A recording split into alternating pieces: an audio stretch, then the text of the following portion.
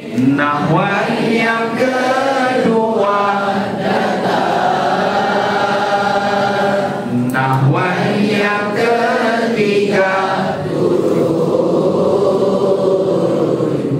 Nahwan yang keempat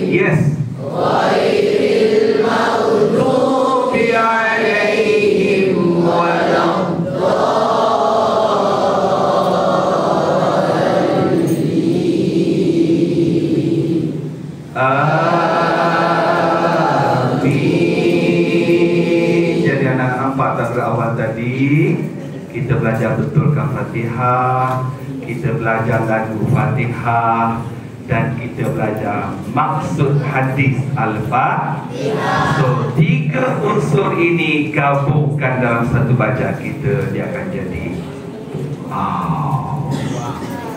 Kita akan rasa healing dengan Allah Subhanahu wa taala. Inilah healing yang sebenar-benarnya. يا أنا نزلان والله أعلم. وبالله التوفيق والهداية. والسلام عليكم ورحمة الله وبركاته.